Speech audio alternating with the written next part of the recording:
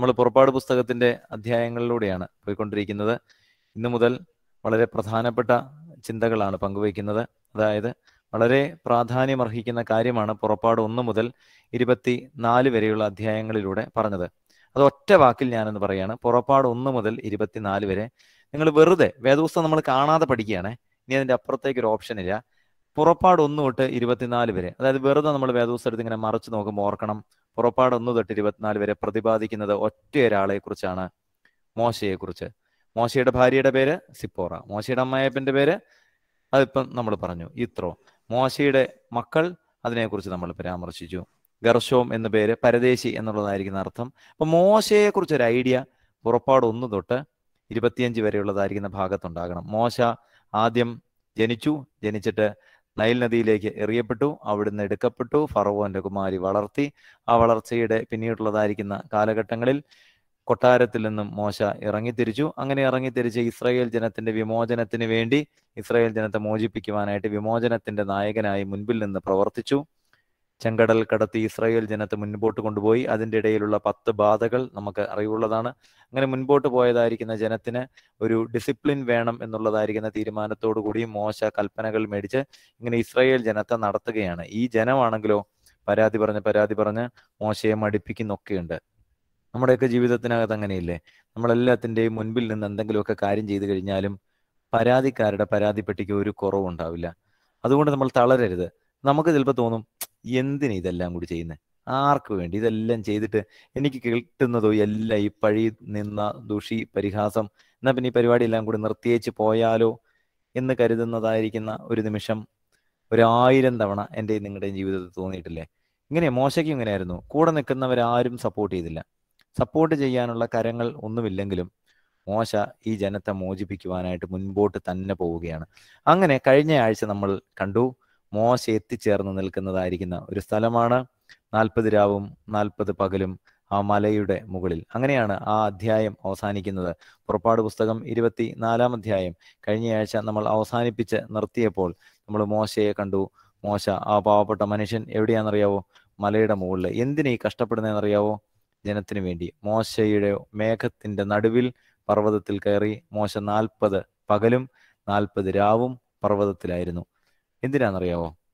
ഈ ജനത്തെ നയിക്കാൻ വേണ്ടി ഈ ജനത്തിന് വേണ്ടി ഒരു മനുഷ്യൻ മലയുടെ മുകളിൽ നിൽക്കുന്നതായ ഒരവസ്ഥ. ആവർത്തന പുസ്തകത്തിൽ അതിനെക്കുറിച്ച് ഭംഗിയായിട്ട് പരാമർശിക്കുകയാണ്. അവനൊന്നും ഭക്ഷിച്ചില്ല അവനൊന്നും പാനം ചെയ്തുമില്ല. അതായത് ഒരു നാൽപ്പത് രാവും നാൽപ്പത് പകലും. അതുകൊണ്ടാണ് നമ്മൾ നമ്മുടെ നോമ്പിലെ ആ പാട്ടിൽ ചൊല്ലുന്നത് നാൽപ്പത് നാളുപവസിക്ക എന്നുള്ളതായിരിക്കുന്നുണ്ടല്ലോ. മോശയും എലിയായും നാൽപ്പത് ദിവസം നോമ്പ് നോറ്റു നമ്മുടെ കർത്താവും നോറ്റു. എന്തിനാ ജയിച്ചെന്നാ പറയുന്നേ? ആകൽ കറുസ. ആ വാക്ക് ഒരുപക്ഷെ ആകൽ കർസ മാലിന്യം ഭുജിക്കുന്നവൻ എന്നുള്ളതാണ് ആകൽ കർസ എന്ന വാക്കിന്റെ അർത്ഥം. ഒരിക്കൽ കൂടി പറയട്ടെ മാലിന്യം ഭുജിക്കുന്നവൻ. അതായത് അത് വെറുതെ നമ്മൾ വായിലേക്ക് കഴിക്കുന്ന മാലിന്യമല്ല കേട്ടോ. മറിച്ച് പാപമാലിന്യങ്ങൾ കഴിക്കുന്നവൻ. അതായത് കഴിക്കുക എന്ന് പറഞ്ഞാൽ ഒരു സാധനം നമ്മുടെ ഉള്ളിലേക്ക് ഇറങ്ങി ചെല്ലുക എന്നുള്ളതാണ് അർത്ഥമാക്കുന്നത്. അങ്ങനെയെങ്കിൽ ആകൽ കർസ എന്ന വാക്കിന്റെ അർത്ഥം മാലിന്യത്തെ കഴിക്കുന്നവൻ. പാപമാലിന്യത്തെ ആര് കഴിച്ചോ അവരൊക്കെ ആകൽക്രസായാണ് നമ്മളൊക്കെ ഇടയ്ക്കിടയ്ക്ക് ഇങ്ങനെ ആകൽക്രസാമാറാവാറുണ്ട് അപ്പം നമ്മൾ ഈ പാട്ട് ഓർക്കണം. മോശയും എലിയായും നോമ്പ് നോറ്റ് എന്തിനെ ജയിച്ചു? ആകൽക്കറസായെ ജയിച്ചു. ഇനി ഇരുപത്തഞ്ച് നോമ്പ് വരാൻ പോവാണ്. അഡ്വന്റ് ലെൻഡ് എന്ന് പറയും. സത്യത്തിൽ അതിനെക്കുറിച്ച് സഭയുടെ ഒരു പിതാവിന്റെ കോട്ടിങ് എങ്ങനെയാണ്? Advent is a adventurous journey to cross. സത്യമായിട്ടും അങ്ങനെ തന്നെയാണ്. അഡ്വന്റ് എന്ന് പറ അഡ്വെന്റ് ലെൻഡ് എന്ന് പറയുന്നത് ഒരു അഡ്വഞ്ചറസ് ജേണിയാണ് എങ്ങോട്ടാണെന്നറിയാവോ? കുരിശിന്റെ ചുവട്ടിലേക്ക്. അതോടൊപ്പം തന്നെ ഈ കുരിശിന്റെ ചുവട്ടിലിന്റെ ആരംഭമാണ് ബേദലഹേമിലെ കാലിത്തൊഴുത്ത്.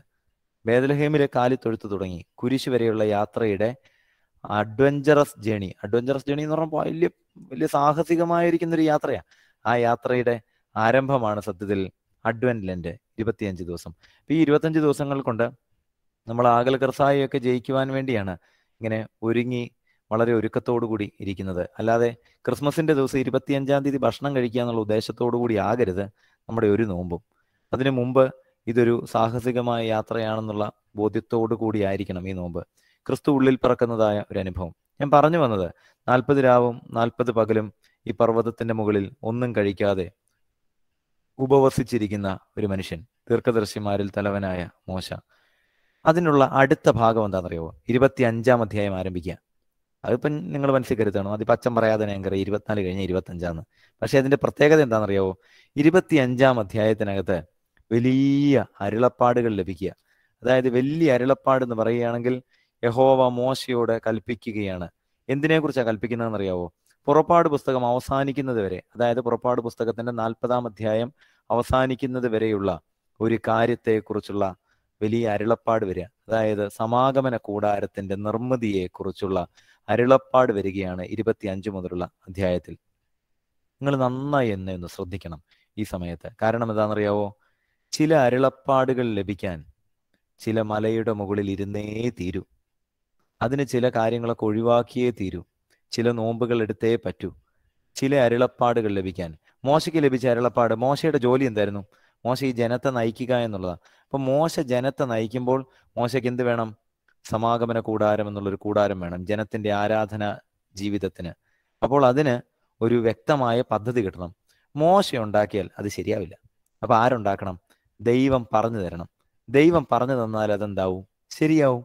അപ്പൊ മോശ നാൽപ്പത് രാവും നാൽപ്പത് പകലും ദൈവം മുൻപാകെ ഇരുന്നപ്പോൾ പിന്നീട് ദൈവം മോശയോട് ഇതിനെക്കുറിച്ച് സംസാരിക്കുക.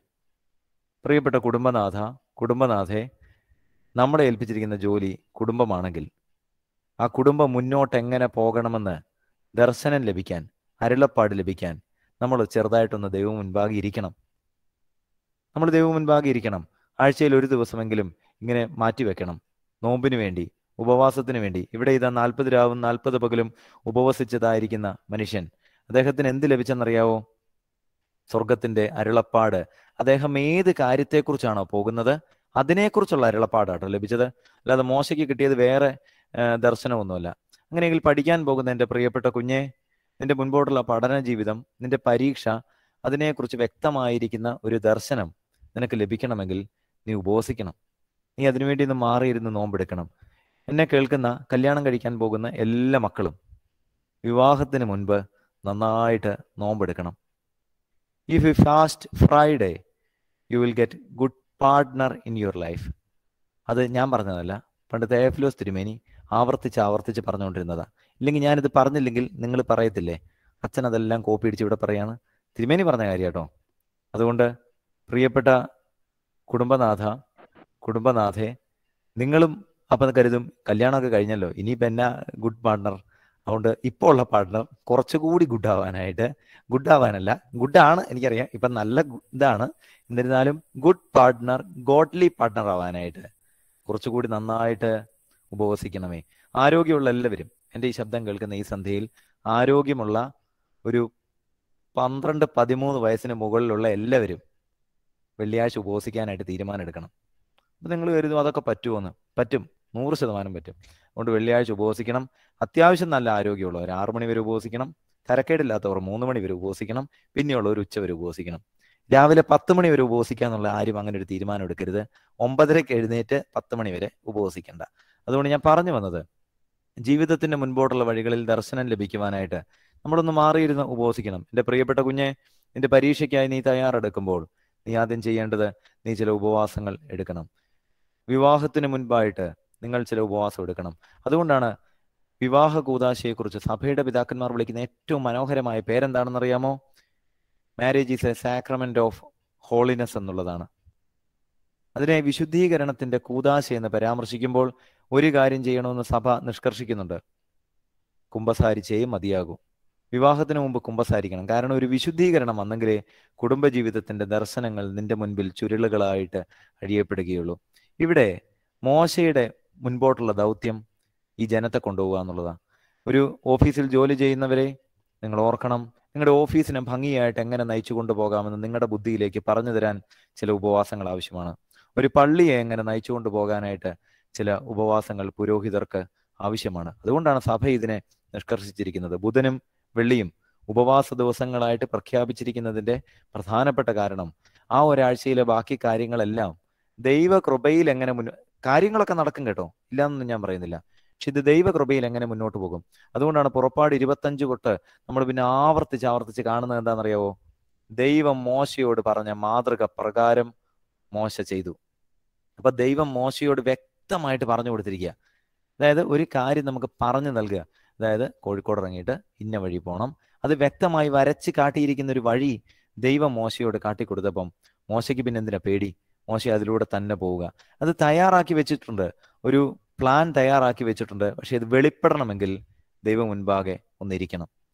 ബുധനും വെള്ളിയും എന്നൊന്നും ഞാൻ പറയുന്നില്ല. കഴിവുള്ളവർ ബുധനും വെള്ളിയും ചെയ്യണം. കുറഞ്ഞ പക്ഷം വെള്ളിയാഴ്ചയെങ്കിലും. നമ്മുടെ കുഞ്ഞുങ്ങളെയൊക്കെ ഒന്ന് പഠിപ്പിക്കണം. വെള്ളിയാഴ്ചയെങ്കിലും ഉപവസിക്കാനായിട്ട്. അങ്ങനെ കുടുംബമായി നമ്മൾ ഒരു ഉപവാസ ദിവസം പ്രഖ്യാപിക്കണം. നമ്മൾ കണ്ടതല്ല അതിനപ്പുറത്ത് ദൈവം നമ്മളെക്കുറിച്ച് കണ്ടിട്ടുള്ള ഒരു മാസ്റ്റർ പ്ലാൻ ഉണ്ട്. അത് നമ്മുടെ മനസ്സിൽ വെളിപ്പെട്ട് കിട്ടും. നമ്മളിപ്പോൾ എത്ര ഇരുന്നിട്ടും ദൈവത്തിന്റെ പദ്ധതി എന്താണെന്ന് നമുക്കറിയുന്നില്ല.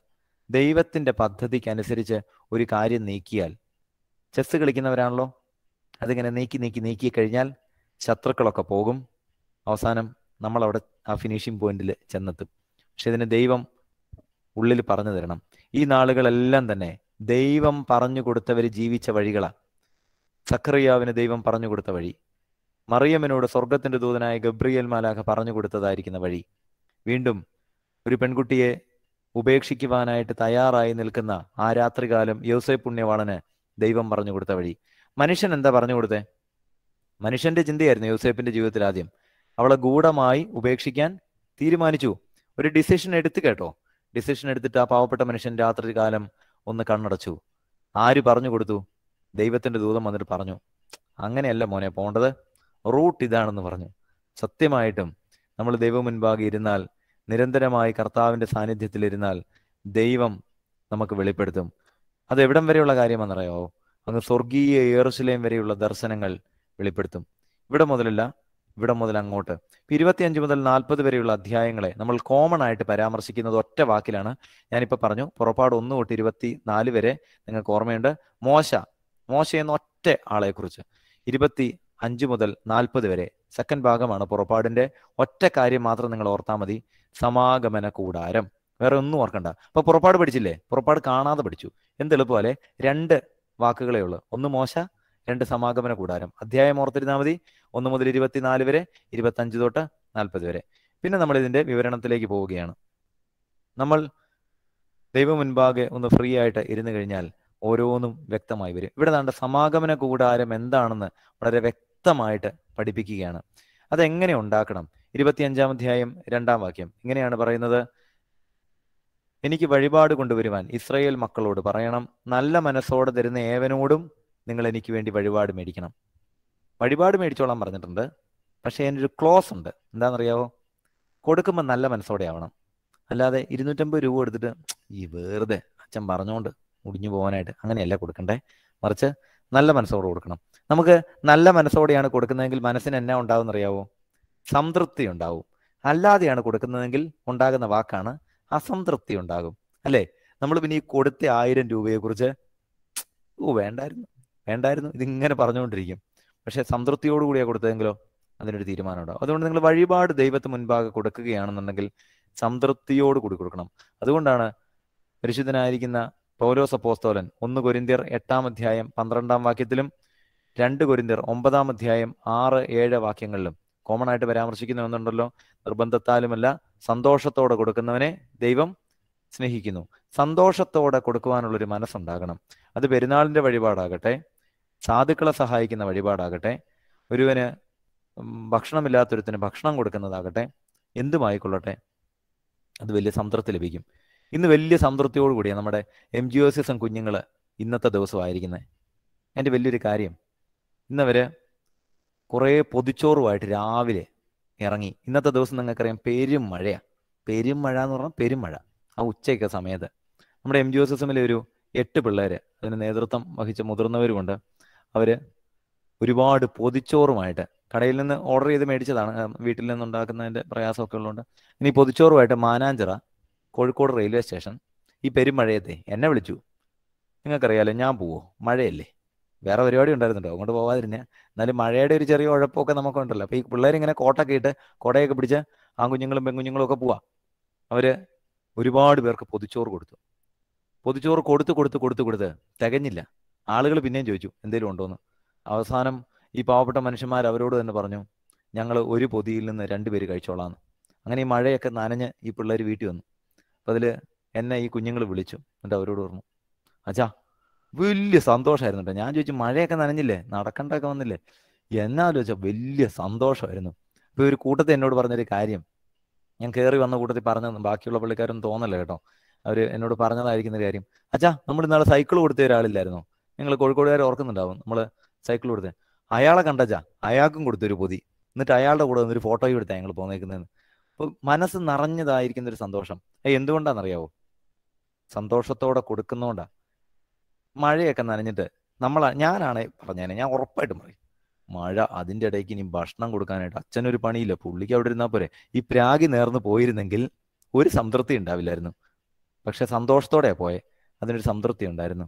ഞാനിത് ഓർമ്മിപ്പിച്ചത് ഇങ്ങനെ എല്ലാ ശനിയാഴ്ചയും കൊടുക്കുന്നുണ്ട് കേട്ടോ. അത് ഇങ്ങനെ പണത്തിന്റെ ഇതനുസരിച്ച് ഇങ്ങനെ ശനിയാഴ്ചകളിൽ ഈ പിള്ളേർ പൊതിച്ചോറ് കൊടുക്കണമെന്ന് താല്പര്യപ്പെടുന്നു. ഞാൻ പറഞ്ഞു വന്നത് സമാഗമന കൂടാരത്തെക്കുറിച്ചാണ്. അതായത് സംതൃപ്തിയോട് കൂടിയുള്ളത് മാത്രമേ വാങ്ങാവൂ എന്ന് ആര് പറഞ്ഞു? മോശ മോശയ്ക്ക് ദൈവത്തിന്റെ അരുളപ്പാട് കിട്ടി. അതായത് വഴിപാട് കൊടുക്കുന്നതെല്ലാം സംതൃപ്തിയോട് കൂടിയായിരിക്കണം. അവരോട് വാങ്ങുന്ന വഴിപാടോ എന്തൊക്കെ വേണ്ടെന്നറിയോ? പൊന്ന് വെള്ളി താമ്രം. അതായത് പൊന്ന് തൊട്ട് കൊടുക്കാൻ കഴിവുള്ളവൻ പൊന്ന് കൊടുക്കണം. വെള്ളി കൊടുക്കാൻ കഴിവുള്ളവൻ ഇരുപത്തഞ്ചാമത്തെയായ മൂന്നാം വാക്യമാണ് ഞാൻ വായിക്കുന്നത്. താമ്രം കൊടുക്കാൻ കഴിവുള്ളവൻ താമ്രം കൊടുക്കണം. നീല നൂൽ പിന്നെ നൂലിന്റെ കാര്യം അതിനൊന്നും വലിയ വിലയില്ല. ധൂമ്ര നൂൽ ചുവപ്പ് നൂൽ പഞ്ഞി നൂൽ കോലാട്ട് രോമം ചുവപ്പിച്ച ആടുകൊറ്റത്തോൽ തഹശുതോൽ ഗതിരമരം വിളക്കിനെണ്ണ അഭിഷേക തൈലത്തിനും പരിമള ധൂപത്തിനും സുഗന്ധവർഗം അങ്ങനെ ഒരു നീണ്ട ലിസ്റ്റ് പറഞ്ഞിട്ട് അതിനൊക്കെ ഒരു ലിസ്റ്റ് പറയുന്നുണ്ട്. അപ്പം ഒരു സ്പെസിഫിക് സാധനം പറയുന്നില്ല. മറിച്ച് അവനവന്റെ ആസ്തിക്കനുസരിച്ച് ഉള്ള മനസ്സോടുകൂടി കൊടുക്കണം. ജനം കൊടുത്തു തുടങ്ങി. ജനം കൊടുത്തു തുടങ്ങിയപ്പോൾ അവസാനം എന്തുണ്ടായെന്നറിയാവോ? സമാഗമന കൂടാരമുണ്ടായി. പുറപ്പാട് മുപ്പത്തിയാറിന്റെ ആറ് ഏഴ്. വേദോസ്തുള്ളവരൊക്കെ പുറപ്പാട് മുപ്പത്തിയാറിന്റെ ആറ് ഏഴ്. പെട്ടെന്നൊന്ന് മറിച്ചാൽ പുറപ്പാട് മുപ്പത്തി ആറിന്റെ ആറ് ഏഴ് കിട്ടും. അതിന്റെ കണ്ടന്റ് എന്താണെന്നറിയാവോ? മോശ പറയാണ്. സംഭവമൊക്കെ ആയി ഇനി വേണ്ട. ഇനി ഈ കാര്യത്തിന് നിങ്ങളുടെ വഴിപാട് വേണ്ട. സംഭവമായി പണമായി. അതായത് നമ്മൾ ഏത് കാര്യത്തിനാണോ കളക്ട് ചെയ്തത് ആ കാശായിട്ടുണ്ട്. ഇനി വേണ്ട എന്ന് പറയുന്നതായിരിക്കുന്ന മോശ. സത്യമായിട്ടും മോശയെ ഓർക്കുമ്പോൾ എനിക്ക് ഞങ്ങളുടെ പൗരോഹിത്യത്തെക്കുറിച്ച് ഒരു പക്ഷേ സങ്കടം തോന്നുന്നു. കാരണം നമ്മൾ പറഞ്ഞ സ്പെസിഫിക് കാര്യം കഴിഞ്ഞു. എന്നാലും പിന്നെ അതിന്റെ പേരിൽ ചിലപ്പോൾ പിരിവ് വന്നുകൊണ്ടിരിക്കും. നമ്മൾ വേണ്ടാന്ന് പറയുമോ നമ്മൾ വേണ്ടാന്ന് പറയോ? ഓ ഇല്ല വന്നോട്ടെ എന്ന് പറയും. ആ കെയർ ഓഫിൽ തന്നെ വേണേൽ കുറച്ചും കൂടി വന്നോട്ടെ. അത് വേറെ കാര്യത്തിന് ഉപയോഗിക്കാന്ന് പറയും. ഇവിടെ മോശം പറയാണ്. അത് വന്നത് വന്നു. മതി എന്ന് പറയാനുള്ള ഒരു ആർജവത്വം കാണിച്ചു. ഇതെല്ലാം കൊടുക്കുന്നത് ആരാന്നറിയാവോ? ജനത്തിന്റെതാണ് കൊടുക്കുന്നത്. എന്ത് സംഭവിച്ചു? ഇതെല്ലാം ചേർത്തുകൊണ്ട് മോശ സമാഗമന കൂടാരം ഉണ്ടാക്കി. വളരെ ശ്രദ്ധിച്ച് കേൾക്കണം. ജനം കൊടുത്തതായിരിക്കുന്ന വഴിപാട് കൊണ്ട് സമാഗമന കൂടാരം ഉണ്ടാക്കി. പുറപ്പാട് പുസ്തകം അവസാനിക്കുന്നത് എങ്ങനെയാണ് സമാഗമന കൂടാരത്തിന്റെ മുകളിൽ ദൈവത്തിന്റെ തേജസ് ഇറങ്ങി വന്നു. ആര് കൊടുത്ത സാധനങ്ങളുടെ മുകളില? ജനം കൊടുത്ത സാധനത്തിന്റെ മുകളിൽ. സഭയുടെ പഠിപ്പീരനുസരിച്ച് നമ്മുടെ ആരാധനയെക്കുറിച്ച് മൂന്ന് ഭാഗങ്ങളായിട്ട് പഴയ കാലത്ത് അത് യുഹാനന്മാർ സേവറിയസ് തിരുമേനിയുടെ ഒക്കെ എഴുത്തുകളിലും അങ്ങനെ അതിനെക്കുറിച്ച് പരാമർശിക്കുമ്പോൾ അത് ഇങ്ങനെയാണ് സഭയുടെ പിതാക്കന്മാരുടെ കുറെ കൂടി നല്ല എഴുത്തുകളിൽ അത് ഇങ്ങനെയാണ് പരാമർശിക്കുന്നത്. ജനം കൊണ്ടുവരുന്നതായിരിക്കുന്ന ഗോതമ്പ് മണികൾ. അത് പൊടിച്ച് ഗോതമ്പാക്കി അതുകൊണ്ടായിരുന്നു എന്താരംഭിച്ചിരുന്നത്? അപ്പം ഉണ്ടാക്കി വിശുദ്ധ കുർബാനയ്ക്കുള്ള അപ്പം ഉണ്ടാക്കിയിരുന്നത്. ജനം കൊണ്ടുവരുന്നതായിരിക്കുന്ന ഇത് പൊടിച്ച്. ഞാൻ ആലോചിക്കുക ആ സിസ്റ്റം മാറിയത് നന്നായി. ഇല്ലെങ്കിൽ നിങ്ങൾ കൊണ്ടുവരുന്ന ഗോതമ്പ് മണിയും കാത്ത് കുറേ നേരം നിൽക്കും. അവസാനം ആദ്യം വരുന്ന പത്ത് പേരൊക്കെ നമ്മുടെ അത്രയൊക്കെ നമ്മുടെ വരുള്ളൂ. നമ്മൾ കുറേ കൂടിയൊക്കെ കഴിഞ്ഞിട്ട് വരാമെന്ന് കരുതി ഇങ്ങനെ ഇരിക്കുകയല്ലേ? അങ്ങനെ നിന്ന് നിന്ന് നിന്ന് നിന്ന് അപ്പം ഉണ്ടാക്കാതെ കുർബാനയല്ല ഉണ്ടാവുന്നതിന്? പിതാക്കന്മാർ വളരെ ദർശനമുള്ളവരായതുകൊണ്ട് അതൊക്കെ മാറ്റി നമ്മൾ കടയിൽ നിന്ന് മേടിച്ചാൽ മതി എന്നുള്ള ഒരു നിയമനത്തിലെത്തി. ഞാൻ പറഞ്ഞു വന്നത് ഇവിടെ എല്ലാം കൂടി ചേർത്തിട്ട് ഉണ്ടാക്കിയതിന്റെ മുകളിൽ എന്ത് വന്നെന്നറിയാവോ? ദൈവത്തിന്റെ തേജസ് വന്നു. നമ്മൾ ദൈവം മുൻപാകെ സമർപ്പിക്കുന്നതായിരിക്കുന്ന കാഴ്ചകളിൽ നിന്ന് ഫലങ്ങളിൽ നിന്ന് അപ്പവും വീഞ്ഞും അത് ദൈവം മുൻപാകെ സമർപ്പിക്കുകയാണ്. പ്രാർത്ഥനകൾ കഴിയുമ്പോൾ ദൈവത്തിന്റെ പരിശുദ്ധ റൂഹ ഈ അപ്പത്തിലും വീഞ്ഞിലും ആവസിച്ച് നമ്മുടെ കർത്താവിന്റെ ശരീര രക്തങ്ങളാക്കി തീർക്കട്ടെ എന്ന് പ്രാർത്ഥിക്കുമ്പോൾ ഓർക്കണം. ജനം കൊടുത്തതിലേക്ക് ദൈവത്തിന്റെ ആത്മാവ് ആവസിക്കുകയാണ്. പുറപ്പാട് ഇരുപത്തിയഞ്ചിന്റെ എട്ട് ഒൻപത്. നിങ്ങൾ പുറപ്പാട് ഇരുപത്തിയഞ്ചിന്റെ എട്ട് ഒൻപത് ഇങ്ങനെയാണ്. മാതൃക പ്രകാരമൊക്കെ ഉണ്ടാക്കണം. ഞാൻ അവരുടെ നടുവിൽ വസിക്കുവാൻ അവർ എനിക്കൊരു വിശുദ്ധ മന്ദിരം ഉണ്ടാക്കണം. തിരുനിവാസവും അതിന്റെ ഉപകരണങ്ങളും ഞാൻ കാണിക്കുന്ന മാതൃക പ്രകാരം ഉണ്ടാക്കണം. അപ്പം എങ്ങനെയാണ് ഉണ്ടാക്കേണ്ടത്? ദൈവം ഒരു മാതൃക കാണിക്കും. ആ മാതൃക പ്രകാരം തന്നെ ഉണ്ടാക്കണം. അപ്പം ദൈവം കാണിച്ചു തരും എങ്ങനെയാ ചെയ്യേണ്ടതെന്ന് എങ്ങനെയാണെന്ന്. അപ്പോൾ ഇനി നമ്മൾ സമാഗമന കൂടാരത്തെക്കുറിച്ച് പ്രതിപാദിക്കുകയാണ്. ഇരുപത്തി അഞ്ചാം അധ്യായത്തിന്റെ കോമൺ ആയിട്ടുള്ളൊരിത് ഞാനിത് നിങ്ങളുടെ മുൻപിൽ ഒന്ന് അവതരിപ്പിക്കുമ്പോൾ നിങ്ങൾ ശ്രദ്ധിക്കണം. വേലി കെട്ടി തിരിച്ച അഴികളുള്ള വലിയൊരു സ്ട്രക്ചർ അതിനകത്ത് ചെറിയൊരു സ്ട്രക്ചർ അത് നിങ്ങൾ ഇനി എന്നെ ഒന്ന് ശ്രദ്ധിക്കുന്നതിന് മുമ്പ് നമ്മളൊന്ന് പ്രസന്റേഷൻ നടത്തും. അത് കണ്ടു കഴിഞ്ഞാൽ നിങ്ങൾക്ക് മനസ്സിലാകും. എന്നിട്ട് പറയുകയാണെങ്കിൽ കുറച്ചും കൂടി എളുപ്പമായിരിക്കും. അതൊന്ന് പ്രസന്റ് ചെയ്യുമ്പോൾ അതിനകത്തൊന്ന് ഭംഗിയായിട്ട് ശ്രദ്ധിച്ചാൽ മതി. അത് നോക്കിയിരിക്കണേ. നോക്കിയിരുന്നാലേ മനസ്സിലാവൂ.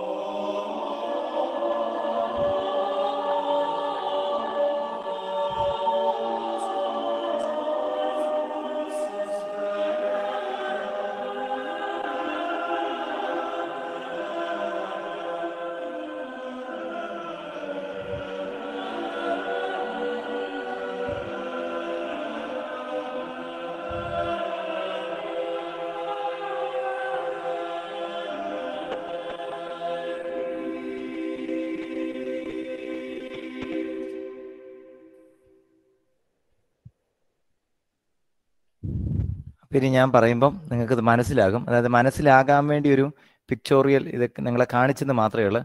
ഇപ്പം നിങ്ങൾ ശ്രദ്ധിച്ച സാധനത്തിൽ നിന്ന് ഇനി എന്നെ ശ്രദ്ധിച്ചാൽ നന്നായി മനസ്സിലാകും. ഇതാണ് സമാഗമന കൂടാരം. ജസ്റ്റ് ഒന്ന് കാണിച്ചെന്ന് മാത്രമേ ഉള്ളേ. സമാഗമന കൂടാരത്തിന് നാല് ഭാഗം. പുറത്തെ പ്രകാരം അകത്തെ പ്രകാരം വിശുദ്ധ സ്ഥലം അതിവിശുദ്ധ സ്ഥലം. ഓക്കെ പുറത്തെ പ്രകാരം അകത്തെ പ്രകാരം വിശുദ്ധ സ്ഥലം അതിവിശുദ്ധ സ്ഥലം. നമ്മൾ വിശുദ്ധ സ്ഥലം അവിടെ കണ്ടിരുന്നു. ഹോളി പ്ലേസ് എന്ന് എഴുതിയതായിരിക്കുന്ന ഒരു വിശുദ്ധ സ്ഥലം കണ്ടിരുന്നു. പിന്നെ holy of the holy place എന്ന് കണ്ടു. അതിവിശുദ്ധ സ്ഥലം.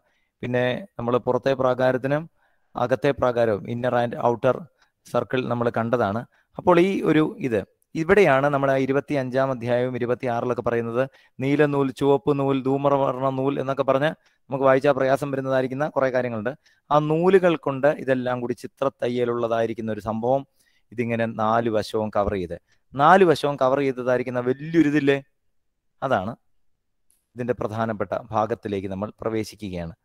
അപ്പോൾ ഇതിനാകെ ഒറ്റ വഴിയേ ഉള്ളു. ഒറ്റ വാതിൽ. സമാഗമന കൂടാരത്തിലേക്ക് കടക്കാൻ ഒറ്റ വഴിയേ ഉള്ളു. നമ്മുടെ പള്ളി പോലെയല്ല. നമ്മുടെ പള്ളിക്ക് അവിടെ ഇവിടെയൊക്കെ വഴിയുണ്ട്. വൈകി വരികയാണെങ്കിൽ ഇതിലൂടെ കയറാം. നേരത്തെ വരികയാണെങ്കിൽ അതിലൂടെ കയറാം. നമ്മളിപ്പോൾ അങ്ങനെയാണല്ലോ സിസ്റ്റം അതുകൊണ്ട് നമ്മുടെ പള്ളിക്ക് ഒറ്റ വാതിലുള്ളായിരുന്നെങ്കിൽ എന്നെ അവസ്ഥയായതിനേലെ ഒറ്റ വാതിലേ പാടില്ലായിരുന്നു ഞാൻ കരുതുന്നു കാരണം വൈകി വരുന്നവനും പത്ത് പേര് കാണണം മുന്നിൽ പോയി നിൽക്കുന്നുണ്ടെങ്കിൽ ഈ ആൾക്കാരൊക്കെ ഇടയിൽ കൂടി ഇങ്ങനെ പോകണം നമ്മളിപ്പം ഇടവഴി കൂടി കയറി സൈഡിൽ ഇങ്ങനെ നിൽക്കും. നിങ്ങൾ മാത്രമല്ല കേട്ടോ ഞങ്ങളും. അതായത് ഈ കല്യാണത്തിനൊക്കെ ഞങ്ങൾ അച്ഛന്മാരൊക്കെ തുടങ്ങിയിട്ടാ ചെല്ലുന്നതെങ്കിൽ നമ്മൾ ആ സൈഡിലത്തെ വഴി ഇങ്ങനെ കയറിയിട്ട് എവിടെയെങ്കിലും ഒരു മൂലയ്ക്ക് ചെന്ന് നിൽക്കും. അപ്പൊ നമ്മുടെ ഒരു ക്രൈസ്തവ പാരമ്പര്യം അങ്ങനെ ആയിപ്പോയി ആ പോട്ടെ. അപ്പൊ ഈ സമാഗമന കൂടാരത്തിന് ഒറ്റ വാതിലേ ഉണ്ടായിരുന്നുള്ളൂ ഒറ്റ വഴി. യേശുദമ്പുരാൻ സുവിശേഷത്തിൽ പറയുകയാണ് ഞാനാണ് വഴി. ഞാനാണ് വഴി. ഈ ഒറ്റ വഴിയിലൂടെ പോയെങ്കിൽ മാത്രമേ രക്ഷയുള്ളൂ. ക്രിസ്തു പറയുകയാണ് ഞാനാണ് വാതിൽ. അപ്പൊ ഈ ഒറ്റ വഴിയും ഒറ്റ വാതിലും. ഈ വാതിൽ പുതിയ നിയമത്തിലേക്ക് വരുമ്പോൾ ക്രിസ്തു ആകും. ഓക്കെ? പഴയ നിയമത്തിൽ സമാഗമന കൂടാരത്തിൽ ഒറ്റയൊരു വഴി. അപ്പോൾ ഇതിൽ വിശുദ്ധ സ്ഥലം കാണുന്നുണ്ട്. പുറത്തെ പ്രാകാരമുണ്ട്. അകത്തെ പ്രാകാരത്തിന്റെ അപ്പുറത്ത് ഒരു വിശുദ്ധ സ്ഥലമുണ്ട്. ഈ വിശുദ്ധ സ്ഥലം അതിനുള്ളിലാണ് അതിവിശുദ്ധ സ്ഥലം. അതിവിശുദ്ധ സ്ഥലത്ത് നമ്മളൊരു സാധനം കണ്ടിരുന്നു. ആർക്ക് ഓഫ് കവനന്റ് എന്നും പറഞ്ഞ് ഒരു ബോക്സ് കണ്ടിരുന്നു. ഒരു പെട്ടി. ആ പെട്ടിക്കകത്ത് മൂന്ന് കാര്യങ്ങൾ നിങ്ങൾ പെട്ടെന്ന് കണ്ടു കാണും. പെട്ടെന്ന് മനസ്സിലായി കാണും. ഒരു തളിർത്ത വടി അഹറോന്റെ മന്ന വെച്ച ചെപ്പ് പിന്നെ കൽപ്പലകൾ. ആ അത് നിങ്ങൾ കണ്ടു കാണും. പെട്ടെന്ന് കണ്ടപ്പം ഒരു പക്ഷേ അത് ആ തളിർത്ത വടിയൊക്കെ കണ്ടപ്പോൾ നമ്മുടെ മനസ്സിനകത്തേക്ക് വേദപുസ്തകം ഒരു തവണയെങ്കിലും വായിച്ചിട്ടുള്ളവർക്ക് ഒരു ഐഡിയ കിട്ടി കാണും. ഒരു തവണ പോലും വായിക്കാത്തവർക്ക് ഇത് കണ്ടിട്ട് ഒന്നും മനസ്സിലായില്ല എന്ന് എനിക്ക് നൂറ് ശതമാനം ഉറപ്പുണ്ട്. അതുകൊണ്ടാണ് ഇത് വായിക്കണമെന്ന് പറയുന്നത്. അപ്പോൾ ഇതിന്റെ ഒക്കെ ഉള്ളിൽ വേണ്ടത് എന്താണെന്നറിയാവോ? ഈ സാക്ഷ്യപെട്ടകമാണ്. സാക്ഷ്യപെട്ടകത്തിനകത്ത് ഈ മൂന്ന് കാര്യം. ഇവിടെ മോശയ്ക്ക് അരുളപ്പാട് ലഭിച്ചിട്ട് ആദ്യം ഉണ്ടാക്കണം എന്ന് പറയുന്നത് എന്താണെന്നറിയാവോ? സാക്ഷ്യപെട്ടകം. നമ്മളാണ് ഉണ്ടാക്കുന്നതെങ്കിൽ ആദ്യം ഉണ്ടാക്കുന്നത് പുറത്തെ സ്ട്രക്ചർ അല്ലേ? നമ്മൾ ഉണ്ടാക്കി ഉണ്ടാക്കി ഇവിടുന്ന് അങ്ങോട്ടല്ലേ പോകുന്നത് പക്ഷെ അവിടുന്ന് ആദ്യം ഉണ്ടാക്കേണ്ടത് ഈ ഒരു പെട്ടകമാണ് ഈ ഒരു പെട്ടകവും അതിനുള്ളിലുള്ള മൂന്ന് കാര്യങ്ങളും അതിനകത്ത് വെക്കണം. മന്നായിട്ട് വെച്ച ചെപ്പ് അഹ്റോന്റെ തളിർത്ത വടി പത്ത് കൽപ്പന. കാണാതെ പഠിക്കണമേ. സമാഗമന കൂടാരം പുറത്തെ പ്രകാരം അകത്തെ പ്രകാരം വിശുദ്ധ സ്ഥലം അതിവിശുദ്ധ സ്ഥലം അതിവിശുദ്ധ സ്ഥലത്ത് സാക്ഷ്യപേടകം അല്ലെങ്കിൽ നിയമപേടകം ഇതിനകത്ത് മൂന്ന് കാര്യങ്ങൾ മന്നായിട്ട് വെച്ച ചെപ്പ് അഹറോന്റെ തളിർത്ത വടി പത്ത് കൽപ്പന. ഇതിങ്ങനെ റിപ്പീറ്റ് ചെയ്ത് പറയുന്നത് കേട്ടിരിക്കുന്നവരെങ്കിലും പഠിക്കണം. അപ്പോൾ ഈ ആർക്ക് ഓഫ് കവനന്റ് അത് സാക്ഷ്യപേടകമാണ്. അത് ഉണ്ടാക്കേണ്ടുന്ന മരം ഗതി ഗതിര മരമാണ്. അതായത് അക്വേഷ്യ ട്രീയുടെ മരം കൊണ്ടാണ് ഗതിര മരം. അതിനെ എന്തുകൊണ്ട് പൊതിയണം? തങ്കം കൊണ്ട് പൊതിയണം. തങ്കം കൊണ്ട് പൊതിയണം. അത് അടച്ചു വെക്കണം. അതിന്റെ മുകളിൽ രണ്ട് കെറൂബുകളെ ഉണ്ടാക്കണം. നിങ്ങൾ കണ്ടു കാണും രണ്ട് മാലാഖമാരിങ്ങനെ അങ്ങോട്ടും ഇങ്ങോട്ടും ചിറക് ഇങ്ങനെ ഇത് ചെയ്തിരിക്കുന്നത്. അതിനെ വിളിക്കുന്ന പേരാണ് ഖറൂബുകൾ രണ്ട് ഖറൂബുകൾ ഒരറ്റത്തും മറ്റേ അറ്റത്തും ഈ ഖറൂബിന് നമുക്ക് ഓർമ്മയുണ്ടാകും. ഉൽപ്പത്തി പുസ്തകം മൂന്നാം അധ്യായം ഇരുപത്തിനാലാം വാക്യം. ആദാമിനെ ഹവ്വായെയും തോട്ടത്തിൽ നിന്ന് പുറത്താക്കി തോട്ടം കാക്കാനായിട്ട് ആരെ ഏൽപ്പിച്ചു? ഖെറൂബുകളെ ഏൽപ്പിച്ചു. ഉൽപ്പത്തി പഠിച്ചു പോയതാണ്. അതുകൊണ്ട് ഞാൻ പറഞ്ഞത്. തോട്ടം കാൽക്കാൻ കെറൂബുകളെ ഏൽപ്പിച്ചു. വീണ്ടും എസക്കിയൽ പ്രവചനത്തിന്റെ പുസ്തകത്തിൽ പത്താം അധ്യായം മൂന്ന് മുതൽ ഇരുപത്തിരണ്ട് വരെയുള്ള ഭാഗങ്ങളിൽ പത്തിന്റെ മൂന്ന് മുതൽ ഇരുപത്തിരണ്ട് വരെയുള്ള ഭാഗങ്ങളിൽ ഖെറൂബുകളുടെ ജോലിയെക്കുറിച്ച് പരാമർശിക്കുന്നുണ്ട്. അപ്പോൾ ഖെറൂബുകൾ എന്തുണ്ടായിരിക്കണം? നമ്മൾ ആ പിക്ചർ കണ്ടതുകൊണ്ട് ഞാൻ കൂടുതൽ എക്സ്പ്ലനേഷന്റെ ആവശ്യമില്ല. ഖെറൂബുകൾ രണ്ടെണ്ണം ഉണ്ടായിരിക്കണം. അപ്പൊ ഈ അതിവിശുദ്ധ സ്ഥലത്തുള്ള കാര്യം ഇപ്പൊ പറഞ്ഞത്. അതിവിശുദ്ധ സ്ഥലത്ത് എന്താണ്? സാക്ഷ്യപേടകം. അതിനകത്തുള്ള മൂന്ന് കാര്യങ്ങൾ. ഓക്കെ ഇനി നമ്മൾ താഴേക്ക് വരികയാണെ. വിശുദ്ധ സ്ഥലം. ഹോളി പ്ലേസിനകത്ത് മൂന്ന് സാധനങ്ങൾ വേണം. ഞാൻ പറയുമ്പോൾ നിങ്ങൾ ആ പിക്ചർ നമ്മുടെ മനസ്സിനകത്തേക്ക് കൊണ്ടുവരണം. ഒരു ധൂപപീഠം കണ്ടായിരുന്നോ? ഇങ്ങനെ ധൂപം ഇങ്ങനെ ഉയരുന്നതായിരിക്കുന്ന ഒരു ധൂപപീഠം. വിശുദ്ധ സ്ഥലത്ത് ഒരു ധൂപപീഠം ഉണ്ടായിരിക്കണം. രണ്ടാമതായിട്ടുണ്ടായിരിക്കുന്നത് ഏഴ് കാലുള്ള വിളക്കുണ്ടാകണം. അതിനെ വിളിക്കുന്ന പേരാണ് ദീപപീഠം. അത് നമ്മൾ കണ്ടില്ലേ? ഒരു വിളക്ക് ഇങ്ങനെ ഏഴ് കാൽ കണ്ടായിരുന്നു. പഴയ ഒരു പാട്ടില്ലേ? ഏഴു വിളക്കിൻ നടുവിൽ ശോഭപൂർണനായി. വെളിപാട് പുസ്തകത്തിൽ വീണ്ടും ഈ ഏഴ് വിളക്കിനെ കുറിച്ച് കാണുന്നതായ ഭാഗമാണ് വെളിപാട് ഒന്നാം അധ്യായം പതിമൂന്നിന്റെയും ഇരുപതിന്റെയും ഇടയിൽ ഈ ഏഴിന്റെ പ്രാധാന്യം ഏഴ് ധൂപപീഠവും തീപ്പന്തങ്ങളും ഒക്കെ കാണുന്നുണ്ട്. വെളിപാട് നാല് അഞ്ചിൽ ഈ തീപ്പന്തങ്ങളെ കുറിച്ച് പരാമർശിക്കുന്നുണ്ട്. അപ്പോൾ ഇതേത് പുസ്തകം നമ്മളിപ്പോൾ പഠിക്കുന്നത് പുറപ്പാടല്ലേ? പുറപ്പാട് പഴയ നിയമത്തിലെ പുസ്തകമാണ്.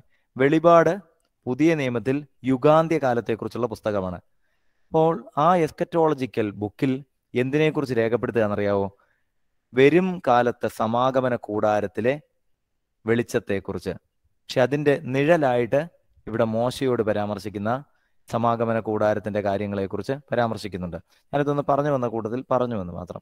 അപ്പോൾ ഒന്നാമത്തത് വിശുദ്ധ സ്ഥലത്തുണ്ടായിരിക്കേണ്ട ഒന്നാമത്തെ കാര്യം ധൂപമുയരാനായിട്ട് ഒരു ധൂപപീഠം രണ്ടാമതായിട്ട് ഒരു ദീപപീഠം. പഠിക്കാൻ എളുപ്പമാണ്. ഇത്ര ഓർത്താൽ മതി. ഒന്ന് ഇൻസെൻസ് ഉണ്ടായിരിക്കണം ഏത് സമയത്തും. രണ്ട് ലൈറ്റനിങ് ഉള്ള സ്ഥലമായിരിക്കണം. അതിനുവേണ്ടി വിളക്കുണ്ടായിരിക്കണം. വേറൊരു സാധനം കൂടി അവിടെ ഉണ്ടായിരിക്കണം. കാഴ്ചയപ്പം വെക്കുന്ന മേശ. ഒരു ചെറിയ മേശ. അതിൽ കാഴ്ചയപ്പം വെക്കണം. ഞാൻ പറയാതെ തന്നെ നിങ്ങൾക്കറിയാം എങ്ങനെയാണ് കാഴ്ചയപ്പം വെക്കേണ്ടത്? ഒരു ഓർഡർ ഉണ്ടായിരുന്നു. അല്ലേ? പന്ത്രണ്ടെണ്ണം ഒന്നിച്ചാണ് വെച്ചേ? അല്ല. പിന്നെ എങ്ങനെയാ ആറ്? ആറ്. ഇപ്പൊ പന്ത്രണ്ട് കാഴ്ചയപ്പം. വലിയൊരു കാഴ്ചയപ്പമല്ല ചെറിയ കാഴ്ചയപ്പങ്ങൾ. നമ്മുടെ വിശുദ്ധ കുർബാനയ്ക്ക് ഉപയോഗിക്കുന്നത് പോലത്തെ ആറ് ആറ്. ഇങ്ങനെ ആറ് കാഴ്ചയപ്പം ഒരു വശത്ത് മറ്റൊരു വശത്ത് ആറ് കാഴ്ചയപ്പം. ഇനി ഇതിന്റെ ഏറ്റവും വലിയ പ്രത്യേകത എന്താണെന്നറിയാവോ? പിന്നീട് നമ്മൾ മുന്നോട്ട് പഠിച്ചു പോകുമ്പോൾ നമ്മൾ കാണും പാപപരിഹാര ദിനം എന്ന് പറഞ്ഞൊരു ദിനമുണ്ട്. ആ ദിനത്തിൽ ഈ കാഴ്ചയപ്പം ഒരു തുണിയിൽ പൊതിഞ്ഞിട്ട് ജനത്തെ ഇങ്ങനെ ആശീർവദിക്കും.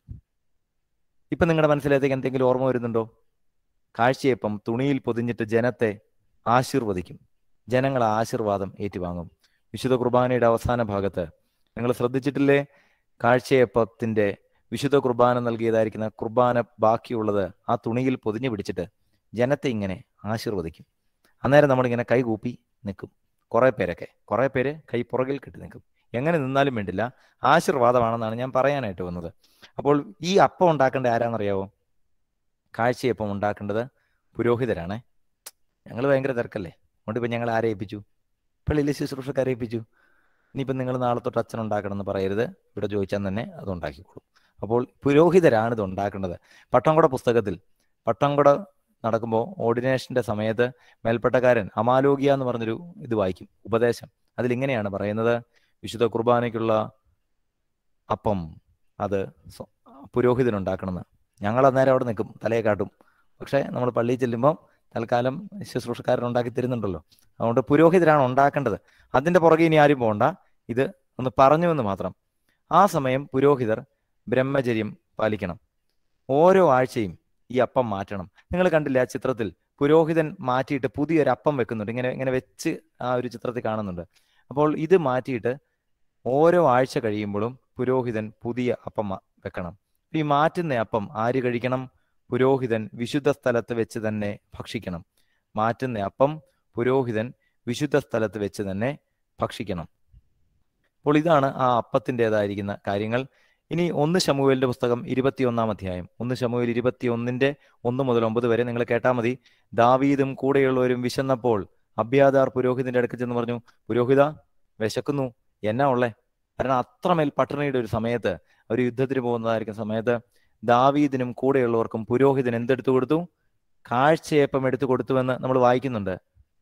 ഒന്ന് ശാമുവേൽ ഇരുപത്തിയൊന്നിന്റെ ഒന്ന് മുതൽ ഒമ്പത് വരെയുള്ള ഭാഗത്ത്. എന്തുകൊണ്ടാണെന്നറിയാവോ? അപ്പൊ ദാവീദിനോട് ചോദിക്കുന്നുണ്ട് ബാലിക്കാർ സ്ത്രീകളോട് അകന്നിരിക്കുകയാണോ എന്ന് ചോദിക്കുന്നുണ്ട്. ആ അതേ എന്ന് പറയുന്നുണ്ട് അവരെ തുടർന്ന് കാഴ്ചയപ്പം എടുത്തു കൊടുക്കുക. ഇപ്പൊ ഒരു പഴയ പാട്ട് നിങ്ങളുടെ മനസ്സിനകത്തേക്ക് ഓർമ്മയുണ്ടാകും. മറിയമേ നീ ഭാഗ്യവതി ഭാമിനിമാരിൽ കാഴ്ചയപ്പം നൽകി നിന്നെ പള്ളിയിൽ പോറ്റി. ദൈവത്തിന്റെ വൈദികന്മാർ ആദരവോടെ കാഴ്ചയപ്പം നൽകി നിന്നെ പള്ളിയിൽ പോറ്റി. ഈ കാഴ്ചയപ്പം ഇത് നൽകി പള്ളിയിൽ വളർന്നു വരുന്നതായിരിക്കുന്ന ഒരു സംസ്കാരം നമ്മുടെ അടുത്ത തലമുറയ്ക്ക് ഉണ്ടാകണം. നിങ്ങൾ കോവിഡിന്റെ നാളൊക്കെ ആയതുകൊണ്ടാണെന്ന് എനിക്കറിയാം. ഇല്ലെങ്കിൽ ഇവിടെ അഞ്ഞൂറ് പേരായിരുന്നു കുർബാന അനുഭവിക്കാൻ ഞാൻ എനിക്കറിയാം. നമ്മൾ വിശുദ്ധ കുർബാനയാറും അനുഭവിക്കുന്ന ഒരു സംസ്കാരം ഉണ്ടാകണം. ഞാനിതിപ്പം ഇന്ന് പറഞ്ഞെന്ന് കരുതി നാളെ ഇനി എല്ലാവരും കൂടി അങ്ങ് വരരുത്. നമുക്കറിയാലോ കോവിഡിന്റെ പരിമിതികളൊക്കെ ഉണ്ട്. അത് ജസ്റ്റ് ഒന്ന് പറഞ്ഞു പോയ കൂട്ടത്തിൽ ഒന്ന് ഓർമ്മിപ്പിച്ചു എന്ന് മാത്രം. അപ്പോൾ നമ്മുടെ ടോപ്പിക്കിലേക്ക് തിരിച്ചു വരികയാണ്. അതിവിശുദ്ധ സ്ഥലം കഴിഞ്ഞു. വിശുദ്ധ സ്ഥലത്ത് എത്ര കാര്യങ്ങൾ കൈകൊണ്ട് കാണിച്ചാൽ മതി? മൂന്ന് കാര്യങ്ങൾ. മൂന്ന് കാര്യത്തിനകത്ത് ഒന്ന് ദീപപീഠം രണ്ട് ധൂപപീഠം പിന്നെയുള്ളതെന്താ കാഴ്ചയപ്പം വെക്കുന്ന മേശ കാഴ്ചയപ്പം ആറുമാറും പന്ത്രണ്ട് ഇത്. പിന്നീട് മുൻപോട്ട് നീങ്ങുകയാണ് പുറപ്പാട് പുസ്തകം ഇരുപത്തി ആറാം അധ്യായം. പുറപ്പാട് പുസ്തകം ഇരുപത്തി ആറാം അധ്യായത്തിൽ നമ്മൾ കണ്ടുമുട്ടുന്നത് ഇതൊരു പോർട്ടബിൾ ആണ്.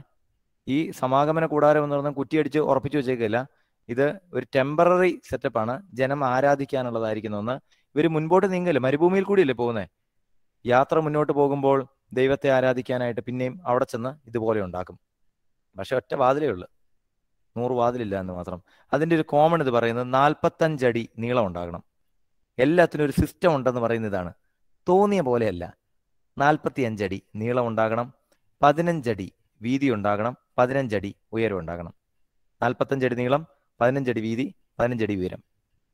ഇതൊന്നും അടുത്ത തവണ ചോദിക്കില്ല. അറിഞ്ഞിരിക്കാൻ വേണ്ടി പറഞ്ഞു എന്ന് മാത്രം. ഇതിൽ അതിവിശുദ്ധ സ്ഥലത്ത് പുറപ്പാട് ഇരുപത്തി ആറിലൂടെ സഞ്ചരിക്കുമ്പോൾ നമ്മൾ കാണുകയാണ് അതിവിശുദ്ധ സ്ഥലത്ത് ആണ്ടിലൊരിക്കലാണ് പ്രധാന പുരോഹിതൻ പ്രവേശിക്കുന്നത്. അതായത് തവണ വീഴുന്നതായിരിക്കുന്ന പുരോഹിതൻ ആണ്ടിലൊരിക്കൽ പ്രവേശിക്കും. കഴിഞ്ഞ ആഴ്ച നമ്മൾ കണ്ടു സക്രിയ പുരോഹിതന് നറുക്കു വീണു. അബിയ കൂറിൽ സക്രിയ പുരോഹിതൻ ധൂപമർപ്പിക്കുവാനായി ധൂപകലശവുമായി പോയി. അല്ലേ? കഴിഞ്ഞ ആഴ്ച ദേവെങ്കിലും അതായിരുന്നു. പുറത്ത് ജനം എന്തോ ചെയ്തു? പ്രാർത്ഥിച്ചു കൊണ്ടിരുന്നു അവൻ ധൂപ അർപ്പണത്തിന്റെ സമയത്ത് മാലാഖ് വന്ന് ചില കാര്യങ്ങളൊക്കെ പറഞ്ഞു. ഒക്കെ നമുക്കറിയാം. തിരിച്ചു പുറത്തേക്ക് ഇറങ്ങിയപ്പോൾ ജനത്തിന് മനസ്സിലായി ആലയത്തിൽ വെച്ച് എന്ത് നടന്നിട്ടുണ്ട്? എന്തോ ദർശനം ലഭിച്ചിട്ടുണ്ട്. ഞാനിത് പുതിയ നിയമത്തിന്റെ താളുകളിലേക്ക് കൂടി ലിങ്ക് ചെയ്ത് പോയെന്ന് മാത്രം ആണ്ടിലൊരിക്കൽ മാത്രമാണ് പ്രധാന പുരോഹിതൻ അതിവിശുദ്ധ സ്ഥലത്ത് പ്രവേശിക്കുവാനുള്ളതായിരിക്കുന്ന അധികാരം. ലേവ്യ പുസ്തകം ഒൻപത് ഏഴിൽ അത് പരാമർശിക്കുന്നുമുണ്ട്.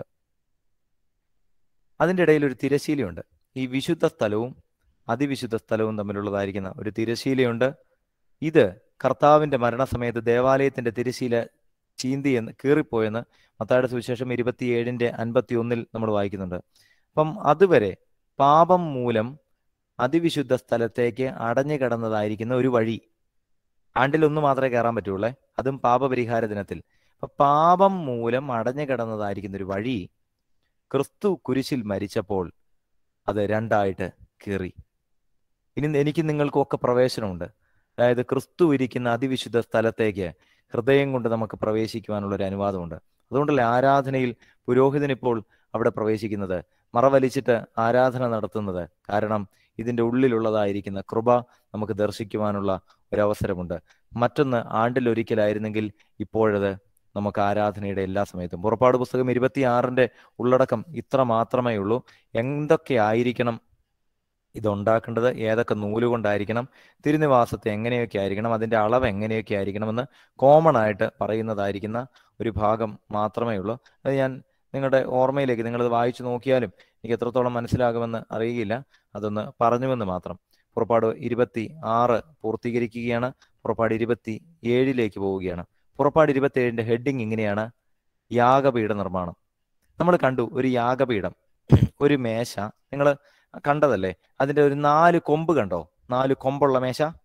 ആ കൊമ്പിൽ ഒരു പുരോഹിതൻ പോയിട്ട് എന്ത് വരട്ടുന്നുണ്ട് ചോര രക്തം ബ്ലഡ് ഇതിങ്ങനെ വരച്ചു വെക്കുന്നുണ്ട്. കണ്ടില്ലേ? ഇതിനെ വിളിക്കുന്ന പേരാണ് യാഗപീഠം. അത് ഗതിരമരം കൊണ്ടുണ്ടാക്കണം. നാല് കോണിലും ഓരോ കൊമ്പുണ്ടായിരിക്കണം. ഈ ബലിമൃഗത്തെ യാഗപീഠത്തിൽ വെച്ച് ദഹിപ്പിക്കും. അഞ്ചു തരത്തിലുള്ള ദഹന ബലികളുണ്ട്. അത് നമ്മൾ പഠിപ്പിക്കും. ദഹന ബലി സമാധാന ബലി ഹോമയാഗം ഹനനയാഗം ഇതൊക്കെ ഇവയുടെ വെച്ചാൽ നടക്കുന്നതെന്ന് അറിയാവോ ഈ ബലി പീഠത്തിൽ വെച്ച് നടക്കും. എന്നിട്ട് ആ ബലിപീഠത്തിൽ വെച്ച് ഇതിനെ ദഹിപ്പിച്ചിട്ട് അതിന്റെ രക്തം കൊമ്പുകളിൽ ഇങ്ങനെ പുരട്ടും. അതിന്റെ ബാക്കിയുള്ള രക്തം ബലിപീഠത്തിന് ചുറ്റും തളിക്കും. ഇപ്പൊ ബലിപീഠത്തിന്റെ കൊമ്പിൽ ഈ രക്തം പുരട്ടും. ഇസ്രയേൽ ജനതയുടെ ഒരു കണ്ടീഷനുണ്ട്. ബലിപീഠത്തിന്റെ കൊമ്പിൽ ചെന്ന് പിടിക്കുന്നവനെ കൊല്ലാൻ പറ്റത്തില്ല. അതായത് ഒരുത്തൻ ഒരു അപരാധം ചെയ്തു. അപരാധം ചെയ്തവൻ ബലിപീഠത്തിന്റെ കൊമ്പിൽ ചെന്ന് പിടിച്ചാൽ അവനെ ഇസ്രയേലിൽ കൊല ചെയ്യാൻ പാടില്ല. അതായത് അവനോട് പിന്നെ പ്രതികാരം ചെയ്യാനായിട്ട് പാടില്ല എന്ന് ചുരുക്കം. പ്രിയപ്പെട്ടവരെ എന്നെ നന്നായിട്ട് ശ്രദ്ധിക്കണമേ. പുതിയ നിയമത്തിലെ ബലിപീഠം ഏതാണെന്നറിയാമോ? യേശുവിന്റെ രക്തം വീണ കുരിശാണ്. യേശുവിന്റെ രക്തം വീണ കുരിശ്. ഒരുത്തൻ ഭൂമിയിൽ പാപം ചെയ്തിട്ട് യേശുവിന്റെ രക്തം വീണതായിരിക്കുന്ന കുരിശിനെ കെട്ടിപ്പിടിക്കുകയാണെങ്കിൽ കുരിശിനെ ആലംബമാക്കുകയാണെങ്കിൽ അവനെ പിന്നെ തുടരുത് എന്നുള്ളതാണ് പുതിയ നിയമത്തിന്റെ നിയമം. അപ്പോൾ ഇവിടെ ഇതാ പഴയ നിയമത്തിൽ ബലിപീഠത്തിന്റെ കൊമ്പ് ആ കൊമ്പിൽ പിടിക്കുന്നവനെ വധിക്കരുത്. മദ്ബഹായിൽ കയറുന്നവർക്കറിയാം. അങ്ങനെ ഒരു പ്രാർത്ഥന തന്നെയുണ്ട്. കർത്താവെ നിന്റെ ബലിപീഠത്തിന്റെ കൊമ്പുകൾ വരെ ഞങ്ങളുടെ പെരുന്നാളുകളെ ബന്ധിപ്പിക്കണമേ എന്ന്. അതായത് ഈ ബലിപീഠത്തിന്റെ കൊമ്പുകൾ. ആ ബലിപീഠത്തിന്റെ കൊമ്പുകളെ തൊടുന്നവനെ കൊല്ലാൻ പാടില്ല. കാരണം അവിടെ ബലിവസ്തുവിന്റെ രക്തം പുരണ്ടിരിക്കുന്നതായിരിക്കുന്ന സ്ഥലമാണ്. പുതിയ നിയമത്തിലേക്ക് വരുമ്പോൾ ആ ബലിപീഠം കുരിശാകും. ആ രക്തം യേശുവിന്റെ രക്തമാകും. പുറപ്പാട് പുസ്തകം ഇരുപത്തി ഏഴിന്റെ ഉള്ളടക്കം ബലിപീഠ നിർമ്മാണമാണ്. അത് ഇത്രമാത്രം ഓർത്താൽ മതിയാകും. പുറപ്പാട് പുസ്തകം ഇരുപത്തി എട്ടാം അധ്യായം. പുറപ്പാട് ഇരുപത്തിയെട്ടിൽ പുരോഹിത വേഷങ്ങളെക്കുറിച്ചാണ് പരാമർശിക്കുന്നത്. അപ്പോൾ നമ്മൾ ഇങ്ങനെയാണ് പഠിച്ചു വന്നത്. പുറപ്പാട് ഇരുപത്തി അഞ്ചിൽ സമാഗമന കൂടാരത്തിന്റെ നിർമ്മിതി. പുറപ്പാട് ഇരുപത്തി ആറിലേക്ക് വരുമ്പോൾ പുരോഹിതൻ പ്രവേശിച്ച് അവിടുത്തെ ആ കാര്യങ്ങളെക്കുറിച്ചൊക്കെ പറയുകയാണ്. തിരശീല വിശുദ്ധ സ്ഥലത്തെക്കുറിച്ചുള്ള ചെറിയ പരാമർശങ്ങൾ. ഇരുപത്തിയേഴിന്റെ ഹെഡിങ് യാഗപയുടെ നിർമ്മാണം ഇരുപത്തിയെട്ടിന്റെ നിർ ഹെഡിങ് പുരോഹിത വേഷം.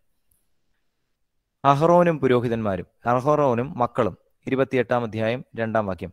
ഇങ്ങനെയാണല്ലോ നിന്റെ സഹോദരനായ അഹ്റോനു വേണ്ടി മഹത്വത്തിനും അലങ്കാരത്തിനുമായി വിശുദ്ധ വസ്ത്രം ഉണ്ടാക്കണം. എനിക്ക് ജീവിതത്തിൽ ഏറ്റവും ഇഷ്ടമുള്ള ഒരു വാക്യമാണത്. പുറപ്പാട് ഇരുപത്തിയെട്ടിന്റെ രണ്ട്. മഹത്വത്തിനും അലങ്കാരത്തിനുമായി വിശുദ്ധ വസ്ത്രം ഉണ്ടാക്കണം. നിങ്ങളിപ്പോൾ ചിന്തിച്ചിട്ടുണ്ടാകും കുറേ കാലമൊക്കെ ഒരു കൊല്ലമൊക്കെ കഴിഞ്ഞാൽ നിങ്ങൾ ചിന്തിച്ചു കാണും അച്ഛൻ എത്ര കാപ്പയാലേ? ഈ പുള്ളി ഇങ്ങനെ മാറി മാറി ഇട്ടുകൊണ്ടിരിക്കുക. എന്നെ ആർഭാടമാലേ ഇതൊക്കെ പറയും. പറയുമ്പോൾ വേദോത്സവത്തിനകത്ത് ഞങ്ങൾ ഈ ഒറ്റ വാക്യത്തിലാണ് ഞങ്ങൾ പിടിച്ചു നിൽക്കുന്നത് ദൈവമഹത്വത്തിനും അലങ്കാരത്തിനും.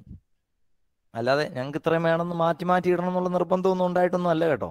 താല്പര്യമില്ല. എന്നിരുന്നാലും ഇത് ഇത്രയും കൂടുതലുള്ളത് പാപമാണെന്ന് എനിക്ക് നല്ല ബോധ്യമുണ്ട്. എന്നാലും ന്യായീകരിക്കാനായിട്ട് ബൈബിളിലുള്ളൊരു വാക്യമാണ്. ഞങ്ങൾ കുറച്ച് അച്ഛന്മാർ ഈ വാക്യം ഇങ്ങനെ കാണാതെ പിടിച്ചു വെച്ചിട്ടുണ്ട്.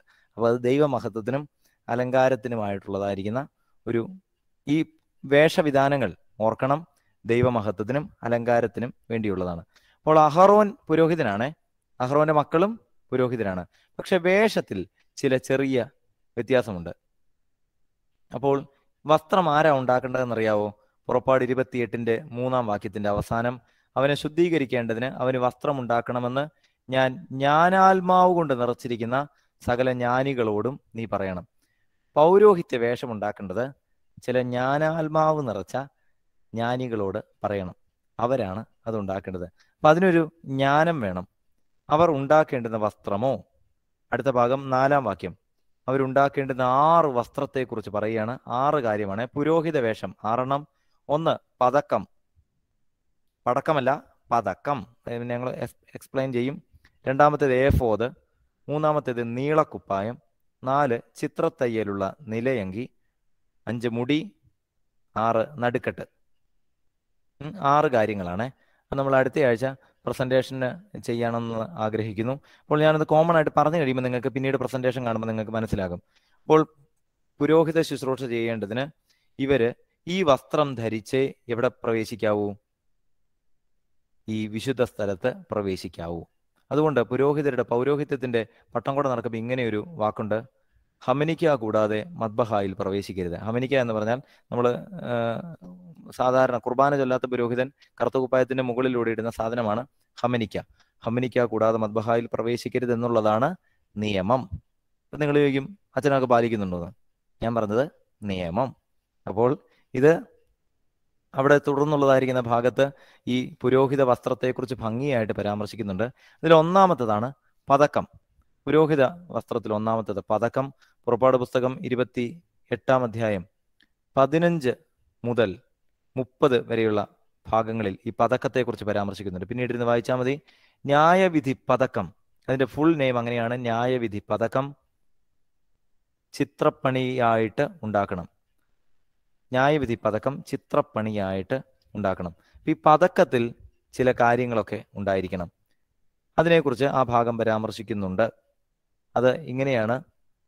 പതിനഞ്ച് മുതൽ ഉള്ളതായിരിക്കുന്ന ഭാഗത്ത് ഏഫോദിന്റെ പണിക്കൊത്തതായി പൊന്ന് നീലനൂൽ അങ്ങനെയൊക്കെ പരാമർശിച്ചിട്ട് അതിൽ ചില കല്ലുകൾ പതിപ്പിക്കണം ഇരുപത്തിയൊന്നാം വാക്യം ഈ കല്ല് ഇസ്രയേൽ മക്കളുടെ പേരോടുകൂടി അവരുടെ പേർ പോലെ പന്ത്രണ്ടായിരിക്കണം. എത്ര കല്ല്? പന്ത്രണ്ട് കല്ല്. വളരെ ശ്രദ്ധിച്ച് കേൾക്കേണ്ട ഒരു ഭാഗമാണത്. ഉൽപ്പത്തി പുസ്തകത്തിലല്ലേ ഗോത്രപിതാക്കന്മാരെ കുറിച്ച് പരാമർശിക്കുന്നത്? ഇവിടെ ഇവരുടെ പേര് ഒത്ത കല്ല് എവിടെ പതിക്കണം? പുരോഹിതന്റെ പതക്കത്തിൽ ഉണ്ടായിരിക്കണം. രണ്ടാമത്തെ പുരോഹിത വേഷമാണ് ഏഫോദ്. ഏഫോദിനെ കുറിച്ച് പരാമർശിക്കുന്നത് ഇതേ അധ്യായം തന്നെ പുറപ്പാട് ഇരുപത്തിയെട്ടിന്റെ ആറ് മുതൽ പതിനാല് വരെ. പുറപ്പാട് ഇരുപത്തിയെട്ടിന്റെ ആറ് മുതൽ പതിനാല് വരെ. അവിടെയും പരാമർശിക്കുന്നത് എന്താണെന്നറിയാവോ?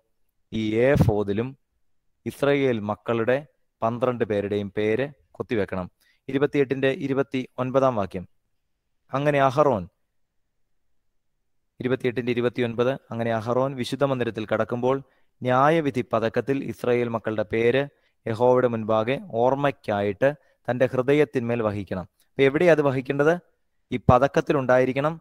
വീണ്ടും കാണുകയാണ് ഇരുപത്തിയെട്ടാം അധ്യായത്തിൽ ഈ ഏഫോദിലും ഉണ്ടായിരിക്കണം. പക്ഷേ ഇത് രണ്ടും എവിടെ ഉണ്ടായിരിക്കണം? ഹൃദയത്തിൽ ഉണ്ടായിരിക്കണം. അപ്പൊ ഇനി എന്നെ ഒന്ന് ശ്രദ്ധിച്ചേ. പഴയ നിയമത്തിൽ വലിയ ഒരു വിശ്വാസ സത്യം പറയാൻ പോവാണേ. പഴയ നിയമത്തിൽ ഇസ്രായേൽ മക്കൾ മരിച്ചില്ലേ?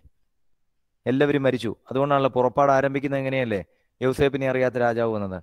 പക്ഷെ ഇവരുടെ പേര് എന്തിനാ ആരാധനാ സമയത്ത് ഈ പതക്കത്തിലും ഏഫോദിലുമൊക്കെ കൊത്തിവെച്ചിരിക്കുന്നത്? അതിന്റെ ഉത്തരം അവിടെ തന്നെയുണ്ട്. അത് ആരുടെ ഹൃദയത്തിലുണ്ടായിരിക്കണം? പുരോഹിതന്റെ ഹൃദയത്തിലുണ്ടായിരിക്കണം. നിങ്ങൾ കുറേ പേരെഴുതി തരുന്നില്ലേ? ഈ പേര് തുയോബയുടെ സമയത്ത് ആദ്യ സമയത്ത് ആരുടെ ഹൃദയത്തിൽ ഉണ്ടായിരിക്കണമെന്നാണെന്നറിയാവോ പുരോഹിതന്റെ ഹൃദയത്തിൽ ഉണ്ടായിരിക്കണം. നമ്മൾ ചാക്കോ ജീന ജീന മീനി അങ്ങനെയൊക്കെ പറഞ്ഞ ഒരു നൂറായിരം പേരെഴുതി തരും.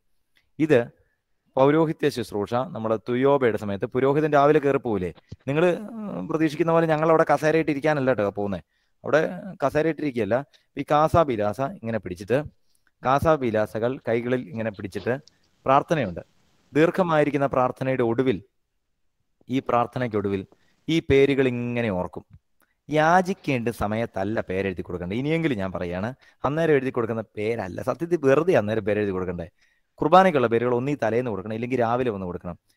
ഈ തുയോബ നടത്തുന്നതായ സമയത്ത് ദൈവമാതാവിന്റെ മധ്യസ്ഥതയ്ക്ക് ഒരു പ്രാർത്ഥനയല്ലും ആ പ്രാർത്ഥനയുടെ അവസാനം എങ്ങനെയാണ്? പരിശുദ്ധ അമ്മയുടെ മധ്യസ്ഥതയിൽ ഞങ്ങൾ ഈ പേരുകൾ ഓർക്കുന്നു. അപ്പൊ ജീന ചാക്കോ അവറാൻ എന്നുള്ളതായിരിക്കുന്ന പേരുകളെല്ലാം ഇങ്ങനെ ഓർക്കും. രണ്ടാമത് ഇന്ന് ആരുടെ മധ്യസ്ഥതയിൽ വിശുദ്ധ കുർബാന അർപ്പിക്കുന്നു?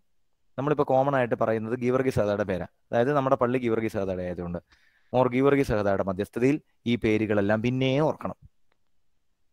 അതിനുശേഷം അടുത്തൊരു പ്രാർത്ഥന കാരുണ്യവാനായ ദൈവമേ രോഗികളായിരിക്കുന്നവർക്ക് വേണ്ടി. അപ്പൊ പിന്നെയും രോഗികളായിരിക്കുന്ന പേര് ഓർക്കണം. അപ്പൊ നിങ്ങൾ ആനീത എന്ന് പറഞ്ഞ കുറെ പേരുകൾ ഇപ്പുറത്ത് എഴുതി തരുന്നില്ലേ അവിടെ ദൈവമേ ഞങ്ങളിൽ നിന്ന് വാങ്ങിപ്പോയതായിരിക്കുന്ന ഈ ദാസയുടെ പേര് അവിടെ ഓർക്കണം. അപ്പൊ ഒരാളുടെ പേര് തുയോബയുടെ സമയത്ത് ജീവനോടിരിക്കുന്നവരുടെ പേര് അറ്റ്ലീസ്റ്റ് രണ്ട് തവണയെങ്കിലും ഓർക്കണം. മാതാവ് പരിശുദ്ധൻ. മരിച്ചു പോയവരുടെ അറ്റ്ലീസ്റ്റ് ഒരു തവണയെങ്കിലും ഓർക്കണം. ഒരു തവണ അങ്ങനെ ഒരു ക്രമമുണ്ട്. ഓർക്കണം അങ്ങനെ ഒരു ക്രമമുണ്ട്. ദീർഘമായൊരു ക്രമമുണ്ട്. ദീർഘമായിരിക്കുന്ന ക്രമത്തിൽ മാതാവിന് വേണ്ടി മൂന്ന് തവണ ഓർക്കണം.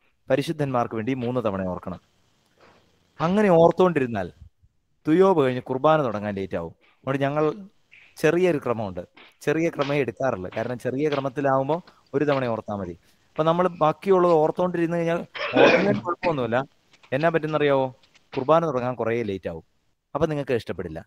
അതുകൊണ്ട് നമ്മൾ ഒരു തവണയൊക്കെ ഓർത്തങ്ങനെ പോകും. അപ്പൊ അതിന്റെ പ്രാധാന്യം എങ്ങനെയാണ്? അംശവസ്ത്രം ധരിച്ചതായിരിക്കുന്ന പുരോഹിതൻ ഈ പേര് എവിടെ ഓർക്കണം എന്നാണെന്നറിയാവോ ഹൃദയത്തിൽ ഓർക്കണം. അല്ലാതെ അവിടെ നിന്ന് ഉറക്കെ ചാക്കോ മത്തായി എന്നൊന്നുമല്ല വിളിക്കുന്നത്. അതെവിടെ ഓർക്കണം? ഹൃദയത്തിൽ ഓർക്കണം. അതുകൊണ്ട് പിന്നീട് യാചിക്കേണ്ട സമയത്ത് ഈ ബലിപീഠത്തിന്മേൽ ഓർക്കുന്നതേ ഉള്ളൂ. അതിനു മുമ്പ് ഇവിടെ പരാമർശിക്കുന്നതായ സംഭവം ഇത് ഹൃദയത്തിൽ ഓർക്കണം.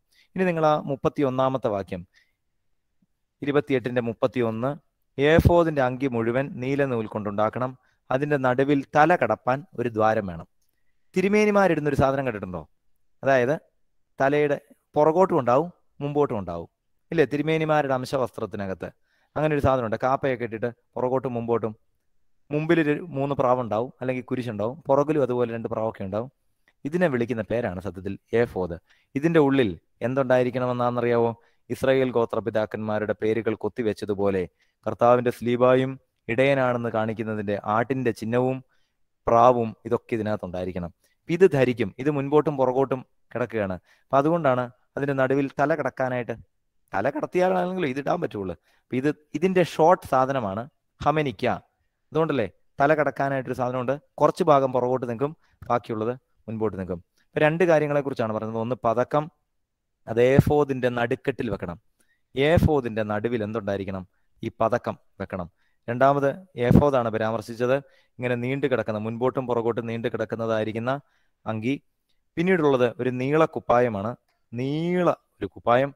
ആ കുപ്പായത്തെക്കുറിച്ച് പുരോഹിത വേഷത്തിൽ ഭംഗിയായിട്ട് നമുക്കറിയാം. ഇപ്പോൾ ഇരുന്ന ഈ കറുത്ത അല്ലെങ്കിൽ വെളുത്തതായിരിക്കുന്ന ഈ കുപ്പായം പോലെ ഒരു നീള കുപ്പായം പിന്നെ ചിത്രത്തയ്യലുള്ള ഒരു നീല അങ്കി ചിത്രത്തയ്യലുകളുള്ള ഒരു നിലയങ്കി അതിനകത്ത് എന്ത് വേണമെന്നറിയാവോ? ഇരുപത്തിയെട്ടിന്റെ മുപ്പത്തി ഒന്നിൽ പറയുകയാണ് ഇരുപത്തിയെട്ടിന്റെ മുപ്പത്തി ഒന്ന് മുതൽ മുപ്പത്തിയെട്ട് വരെയുള്ള ഭാഗങ്ങളിൽ പറയുകയാണ്. അതിൽ രണ്ട് കാര്യം ഉണ്ടായിരിക്കണം. ഇതൊന്നും നിങ്ങൾക്ക് വേണ്ടിയല്ല. സത്യത്തിൽ ഇത് ഞങ്ങൾക്ക് വേണ്ടിയാണ്. അത് ജന ഇത് കേട്ടിട്ട് ഇപ്പം എന്നാ ചെയ്യാനെന്നൊക്കെ ചോദിച്ചാൽ വലിയ പ്രയാസമാണ്. അതിനകത്ത് രണ്ട് സാധനം വേണം. ഒരു പൊന്മണി തൂക്കിയിടണം. ഈ ഇതിന്റെ താഴെ ചിത്രത്തയ്യലുള്ള നിലയങ്കിയുടെ താഴെ ഒരു പൊൻ മണി രണ്ട് മാതളപ്പഴം രണ്ട് കാര്യമാണ്. അത് നിങ്ങളുടെ ഓർമ്മയിലുണ്ടാകണം. പൊന്മണി എന്തിനാണെന്നറിയാവോ? പുരോഹിതൻ നീങ്ങുമ്പോൾ ശബ്ദം വരണം. പൂച്ചയൊക്കെ പെട്ട് നീങ്ങുമ്പോൾ മണിയടിക്കുന്നതിന് ശബ്ദം വരില്ലേ? ഈ ഇപ്പൊ ഞങ്ങൾ കൊച്ചിന് പാദസരം ഇട്ട് കൊടുത്തു. എന്തിനാണെന്നറിയോ? ഇതിനെ കാണാതെ പോയാലും പാദസരം കിളിക്കും പറയാവോ? അതുപോലെ പുരോഹിതൻ നീങ്ങുമ്പം എന്തറിയണം? ഈ മണി അടിക്കണം. അത് എന്തുകൊണ്ടാണ് ഞാൻ വ്യക്തമായി പറഞ്ഞുതരാം. ആണ്ടിലൊരിക്കലാണ് ഈ പുരോഹിതൻ ഇത് ധരിച്ചുകൊണ്ട് എവിടെ പോകുന്നത്? അതിവിശുദ്ധ സ്ഥലത്ത് പോകുന്നത്. അതിവിശുദ്ധ സ്ഥലവും ഇവിടെയും തമ്മിൽ എന്തുണ്ട്? വലിയൊരു തിരശീലയുണ്ട് അതിവിശുദ്ധ സ്ഥലത്ത് നിൽക്കുന്ന പുരോഹിതൻ ഈ മണിയടിയുടെ ശബ്ദമാണ് ഒറ്റ കാര്യമുള്ളൂ ഇയാൾ ജീവിച്ചിരിക്കുന്നു എന്നുള്ള അറിവ്. സത്യത്തിൽ ഇത് ധരിച്ചുകൊണ്ട് ഇദ്ദേഹം എവിടുന്നാ പോകുന്നത്? സമാഗമന കൂടാരത്തിന്റെ മെയിൻ ഡോറിലൂടെ കയറി വിശുദ്ധ സ്ഥലം കഴിഞ്ഞ് അതിവിശുദ്ധ സ്ഥലത്തേക്ക് പോവാ. ഈ പുള്ളി തിരിച്ചു വന്നില്ലെങ്കിൽ മരിച്ചെന്നുള്ളതാ. ഈ ശബ്ദമൊന്നും വന്നില്ല എന്നുണ്ടെങ്കിൽ. അവിടെ വെച്ച് എന്തോ സംഭവിച്ചു. മരിച്ചുപോയി. പക്ഷേ ഇദ്ദേഹത്തിന്റെ തിരിച്ചു വരവ് ഈ മണിയടി ശബ്ദം. അതുകൊണ്ടാ സക്കറിയാവ് അകത്ത് ധൂപകലശം കാട്ടുമ്പോൾ പുറത്ത് ജനം എന്ത് ചെയ്തു? പ്രാർത്ഥിച്ചുകൊണ്ടിരുന്നു. ജനത്തിനറിയായിരുന്നു ഈ മണിയടി കണി എന്ന് പറഞ്ഞ് ഇങ്ങനെ പോയപ്പം ഐസ് പോകുന്ന ശബ്ദമല്ല. മണിയടി ശബ്ദം ഇങ്ങനെ പോയപ്പം അറിയായിരുന്നു പുരോഹിതൻ പോവുകയെന്ന് പിന്നെ ഒരു സാധനം കൂടി ചേർത്ത് വെക്കണം. എന്താണെന്നറിയാവോ? മാതളപ്പഴം തൂക്കിയിടണം. മാതളപ്പഴം ഡിസിപ്ലിന്റെ ഭാഗമാണ്. മാതളപ്പഴം ഒന്ന് പൊളിച്ചു നോക്കി ഇങ്ങനെ അല്ലി അല്ലി അല്ലികളായിട്ട് അത് അടങ്ങി വളരെ ഡിസിപ്ലിനാണ് ഇത് നിങ്ങളോട് ഞാൻ പറയുന്നില്ല.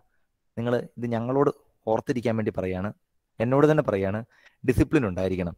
അത് വേഷത്തിലും ഇടപെടലിലും വാക്കിലുമൊക്കെ പുരോഹിതന് പുരോഹിതന്റെ ഡിസിപ്ലിൻ ഉണ്ടായിരിക്കണം എന്നുള്ള ഓർമ്മപ്പെടുത്തലാണ്. വീണ്ടും നമ്മൾ അവിടെ കാണുകയാണ്. അങ്കി അതിനോട് ചേർന്ന് ഒരു മുടി മുടി എന്ന് പറഞ്ഞാൽ തൊപ്പി എന്ന് മാത്രമേ അർത്ഥമാക്കുന്നുള്ളൂ. പുരോഹിത വസ്ത്രത്തിൽ ഒരു തൊപ്പി ഉണ്ടായിരിക്കണം. അതുകൊണ്ടാണ് അതിന്റെ മുൻപിൽ അതായത് ഈ തൊപ്പിയുടെ മുൻപിലായിട്ട് ഒരു സ്വർണ തകിടിൽ എഴുതി വെക്കണം കർത്താവിന് വിശുദ്ധം. പുറപ്പാട് പുസ്തകം ഇരുപത്തിയെട്ടിന്റെ മുപ്പത്തി ആറാം വാക്യം. തങ്കം കൊണ്ടൊരു പട്ടമുണ്ടാക്കി അതിലെ ഹോവയ്ക്ക് വിശുദ്ധം എന്ന് മുദ്ര കൊത്തണം. അത് മുടിമേൽ ഇരിക്കേണ്ടതിന് നീലച്ചരട്ട് കൊണ്ട് കെട്ടണം. സത്യത്തിൽ ഇന്ന് നമ്മൾ മുടിയെന്ന് പറയുന്നത് മെത്രാപോലിത്തമാർ ഉപയോഗിക്കുന്ന മത്തങ്ങ തൊപ്പിയില്ലേ? അതിനെ വിളിക്കുന്ന പേരാണ് മുടി. ഞങ്ങളൊക്കെ വെച്ച് നടന്നു കഴിഞ്ഞാലുള്ള പ്രശ്നം കാരണം ഞങ്ങളിങ്ങനെ ചെറിയ തൊപ്പി വെക്കുന്നു. അപ്പൊ ഇതിന്റെ ഇവിടെ ഈ ഭാഗത്ത് എന്തുണ്ടായിരിക്കണം? യഹോവയ്ക്ക് വിശുദ്ധം. ഇതൊക്കെ ഞങ്ങളെ തന്നെ കുറിക്കുന്നതാണ്. അതായത് യഹോവയ്ക്ക് വിശുദ്ധം എന്ന് പറഞ്ഞാൽ എഴുതി ഒട്ടിച്ചു വെക്കണം. എന്തിനാണെന്നറിയാമോ? ഇതെന്തിനാണ് വെച്ചിരിക്കുന്നതെന്ന് ചോദിച്ചാൽ ഞങ്ങൾക്ക് ഭംഗി കൂടാൻ വേണ്ടിയോ തിരുമേനിമാർക്ക് ഭംഗി കൂടാൻ വേണ്ടിയോ അല്ല മുടി. മറിച്ച് വേദപുസ്തകത്തിൽ നമ്മൾ കാണുകയാണ് പുറപ്പാട് ഇരുപത്തി എട്ടിന്റെ മുപ്പത്തിയാറ്. പുറപ്പാട് ഇരുപത്തിയെട്ടിന്റെ മുപ്പത്തിയാറ് അത് ഇസ്രയേൽ മക്കൾ തങ്ങളുടെ സകല വിശുദ്ധ വഴിപാടുകളിലും ശുദ്ധീകരിക്കുന്ന വിശുദ്ധ വസ്തുക്കളുടെ കുറ്റം അഹറോൻ വഹിക്കേണ്ടതിന് അത് അഹറോന്റെ നെറ്റിയിലിരിക്കണം. അതായത് നിങ്ങൾ കൊണ്ടുവന്ന ഏതെങ്കിലും ഒരു വഴിപാടിൽ ഒരു കുറവുണ്ടെങ്കിൽ ആ കുറ്റം യഹോവയുടെ മുൻപാകെ നിങ്ങൾക്ക് ശിക്ഷ ലഭിക്കാതിരിക്കാൻ പരിഹാര മാർഗമായിട്ടാണ് മുടിയുടെ ഈ മുടി ധരിക്കുന്നതിനെ കുറിച്ച് വേദപുസ്തകം പരാമർശിക്കുന്നത്. യഹോവയുടെ മുൻപാകെ ജനത്തിന്റെ വഴിപാടിൽ തെറ്റുണ്ടെങ്കിൽ ഒരു മോചനം ലഭിക്കാൻ വേണ്ടി മുടി ധരിച്ച് അതിന്റെ മുകളിൽ ഇത് യഹോവയ്ക്ക് വിശുദ്ധമെന്ന് എഴുതി വെക്കണമെന്നുള്ളത്. പിന്നീടുള്ളത് ഒരു നടുക്കെട്ടാണ്. അത് ഇതിനോട് ചേർന്ന് ഒരു നടുക്കെട്ടുണ്ടായിരിക്കണം. അപ്പൊ ആറ് കാര്യങ്ങളാണ് ഞാൻ പരാമർശിച്ചത്. അതിലൊന്ന് പതക്കമാണ്. അതിൽ ഇസ്രായേൽ മക്കളുടെ ഇതുണ്ടായിരിക്കണം. ഏഫോദ് അതിലും ഇസ്രായേൽ മക്കളുടെ ഇതുണ്ടായിരിക്കണം. ഈ പതക്കം ഈ എ ഫോതിൽ പതിപ്പിച്ചിരിക്കണം.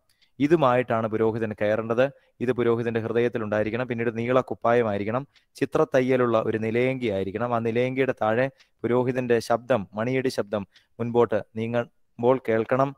അത് സുവിശേഷത്തിന്റെ ശബ്ദം കൂടിയാട്ടോ. പുതിയ നിയമത്തിന്റെ താളുകളിൽ പുരോഹിതന്റെ ഈ മണിനാഥം എന്ന് പറയുന്നത് സുവിശേഷത്തിന്റെ ശബ്ദം കൂടിയാണ്. പിന്നീടുള്ളത് മാതളപ്പഴം. അത് ഡിസിപ്ലിനെ കുറിക്കുന്നു. മുടി പിന്നീടുള്ളത് നടുക്കെട്ട്. പുറപ്പാട് ഇരുപത്തി എട്ടിന്റെ നാൽപ്പത്. അതിങ്ങനെയാണ് അഹറോന്റെ പുത്രന്മാർക്ക് മഹത്വത്തിനും അലങ്കാരത്തിനും. ഇതൊക്കെ അഹറോന് വേണ്ടിയാട്ടോ. എന്നാൽ അഹറോന്റെ പുത്രന്മാര്. അവർക്ക് വേണ്ടത് അങ്കി നടുക്കെട്ട് തലപ്പാവ്. അങ്കി നടുക്കെട്ട് തലപ്പാവ്. ഇനി നിങ്ങൾ ഓർത്തുള്ള സഭയിൽ ഒരു അച്ഛനെ നോക്കി. അങ്കി നടുക്കെട്ട് തലപ്പാവ്. ഇത്രയേ ഉള്ളൂ. അപ്പൊ നമ്മുടെ ഇന്നത്തെ ക്ലാസ് പര്യവസാനിക്കുകയാണ്. പുരോഹിത വേഷത്തെക്കുറിച്ചാണ് പരാമർശിച്ചത്. നാൽപ്പത്തിരണ്ടാം ഭാഗം. ഒരുപാട് പേര് നമ്മളോട് ചോദിക്കുന്നുണ്ട് അച്ഛനെ ഈ പള്ളിയിൽ ചെരുപ്പൊക്കെ ഇട്ട് നിൽക്കാം മധുവായിൽ പാവപ്പെട്ട വിശ്വാസി ചെരുപ്പിട്ട ബഹളം ഉണ്ടാക്കും. പുറപ്പാട് ഇരുപത്തിയെട്ടിന്റെ നാൽപ്പത്തിരണ്ട് അവരുടെ നഗ്നത മറയ്ക്കുവാൻ അവർക്ക് ചണനൂൽ കൊണ്ട് കാൽച്ചട്ട ഉണ്ടായിരിക്കണം. അത് ഇവിടെ പരാമർശിക്കുന്നത് അര തുടങ്ങി തുടവരെ എത്തണമെന്നുള്ളതാണ്. എന്നാൽ അതിനെക്കുറിച്ച് കുറച്ചുകൂടി ഭംഗിയായിട്ടുള്ള പരാമർശത്തിനകത്ത് ഈ കാൽച്ചട്ട കാലിനെയും കൂടി മൂടുന്ന ഒരു ഇതുള്ളതായിരിക്കണമെന്ന് ഇങ്ങനെ ഒരു ഇതുണ്ട് അപ്പോൾ ഇതെല്ലാം ആര് ധരിക്കണം? സമാഗമന കൂടാരത്തിന്റെ കടക്കുമ്പോൾ യാഗപീഠത്തിന്റെ അടുത്ത് ചെല്ലുമ്പോൾ കുറ്റം ചുമന്ന് മരിക്കാതിരിക്കേണ്ടതിന് അവരത് ധരിക്കണം. ഇതൊരു നിയമമാണ്. കുറ്റം ചുമന്ന് ഇത് പുരോഹിതൻ മരിക്കാതിരിക്കേണ്ടതിന് ഇത് ധരിക്കണം.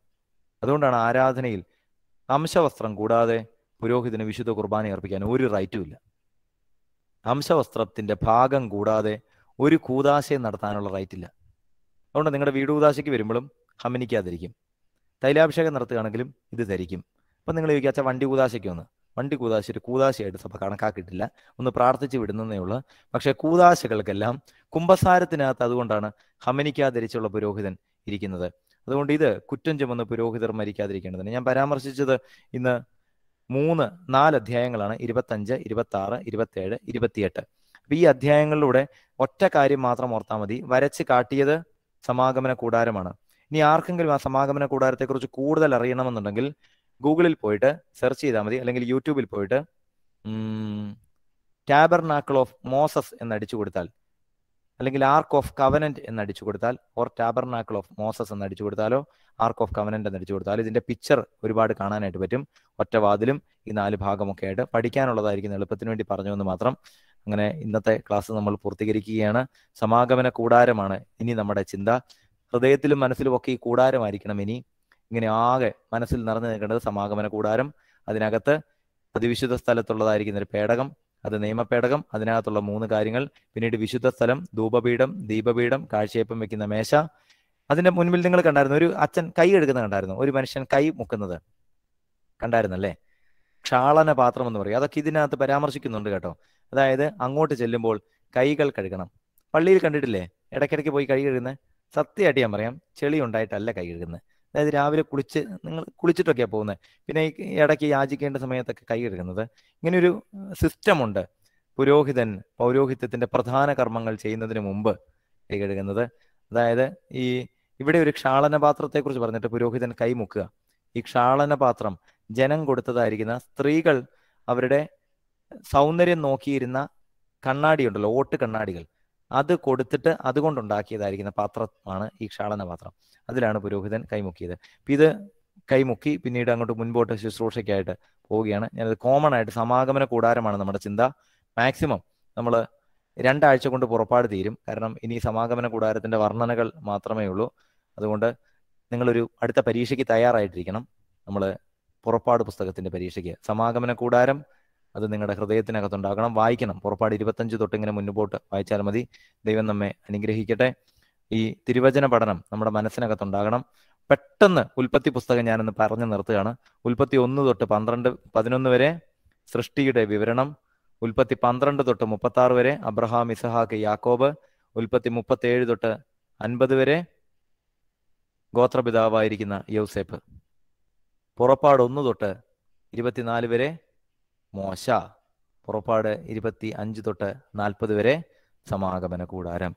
രണ്ട് പുസ്തകം കാണാതെ പഠിച്ചില്ലേ? ഇങ്ങനെ കാണാതെ പഠിക്കണം. അതിന് ദൈവത്തിന്റെ പരിശുദ്ധാത്മാവ് ഇടയാകട്ടെ